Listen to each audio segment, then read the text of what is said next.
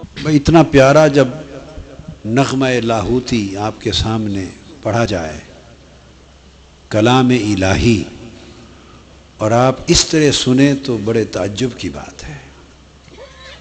आपके अंदर तो एक आग लग जानी चाहिए जब इतना प्यारा कुरानी मजिद पढ़ें, और जोश के साथ अल्लाह करके हालत वजद में उस कुरानी मजीद की आयत को रिसेप्शन दिया करें। हर आयत के अख्ताम पे इस्तकबाल करें उसका।